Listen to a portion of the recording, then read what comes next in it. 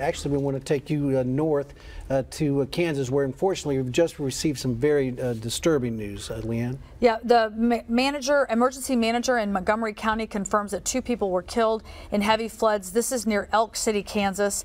Officials say the father and son were found inside a car near a reservoir. Now, the emergency manager also says there's a third person reported missing in Independence. A car apparently found with the windows rolled down, the driver no, not inside. Elk City got 11 and a half inches of rain. They also saw a tornado as well.